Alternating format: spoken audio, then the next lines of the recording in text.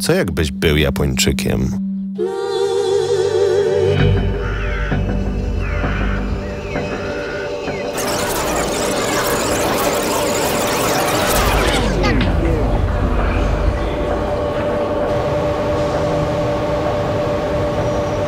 Może mieszkałbyś w największej metropolii świata.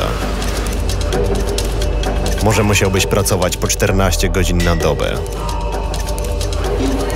Mieszkałbyś w mieście tak bezpiecznym, że w wieku 7 lat sam jeździłbyś pociągiem do szkoły. Myślałbyś kolektywnie. Jak odegrać swoją rolę w społeczeństwie? Jak nikomu nie wejść w drogę? Może w piłkę z kolegami grałbyś na dachu wieżowca. Parę razy w roku nosiłbyś kimono. Znałbyś ponad 2000 znaków pisma.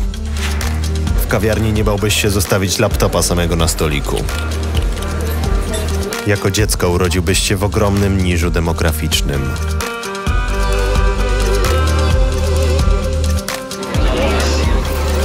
Karpia znałbyś jako rybę ozdobną. Sushi byłoby normalnym jedzeniem, a kuchnia z Europy byłaby egzotycznym przysmakiem. Może lubiłbyś gotować polskie potrawy. Może byłabyś pół Polką, pół Japonką. Może byłbyś znawcą polskiego jazzu. A może uczyłbyś się polskiego. Japonia, taki dziwny, obcy kraj. Ty urodziłeś się w Polsce i twoje życie wygląda kompletnie inaczej, prawda? Masz pasje i zainteresowania.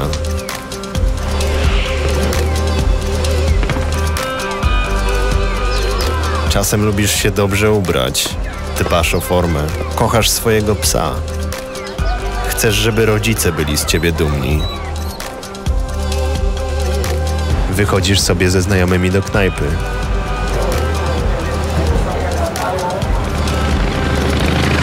Wstydzisz się zagadać do dziewczyny, która ci się podoba. Lubisz sobie popracować w kawiarni.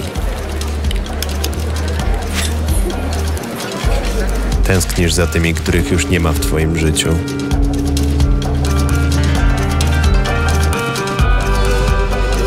Wydaje się, że jesteśmy tacy różni. Tymczasem nawet najodleglejszy kulturowo kraj świata jest tak podobny do naszego.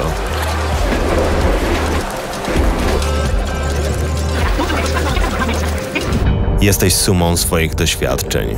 Wszyscy stoimy na tych samych fundamentach. Mamy tylko różne doświadczenia, które kształtują nas w różnych ludzi. Naprawdę tylko od ciebie zależy, jak ciekawą historię opowiesz swoimi doświadczeniami.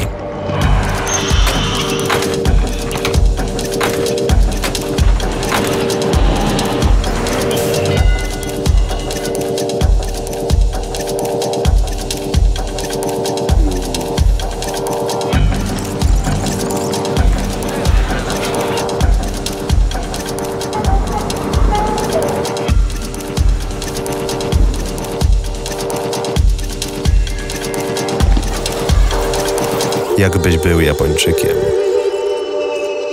też byłbyś sobą.